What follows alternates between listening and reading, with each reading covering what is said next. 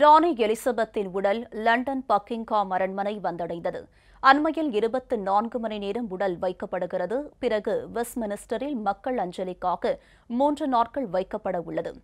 இங்கிலாந்து ராணி இரண்டாம் எலிசபெத் உடல்நலக் குறைவு காரணமாக ஸ்காட்லாந்தில் உள்ள பால்மோரால் மாளிகையில் கடந்த எட்டாம் தேதி உயிரிழந்தார். அவரது உடல் பால்மோரால் மாளிகையில் இருந்து கடந்த பதினோராம் தேதி ஸ்காட்லாந்தின் தலைநகரான எடின்பரோ நகருக்கு கொண்டு செல்லப்பட்டது.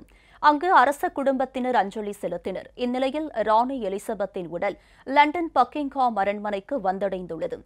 அரண்மனையில் இருபத்து நான்கு மணி நேரம் உடல் வைக்கப்படுகிறது. இன்று பிற்பகலில் ராணியின் உடல் பொதுமக்கள் அஞ்சலிக்காக பீரங்கி வண்டியில் ஏற்றப்பட்டு ராணுவ மரியாதை அளிக்கப்பட்டு பக்கிங்ஹாம் அரண்மனையில் இருந்து நாடாளுமன்ற வளாகத்தில் உள்ள வெஸ்ட் மினிஸ்டர் மண்டபத்திற்கு ஊர்வலமாக எடுத்துச் செல்லப்படுகிறது.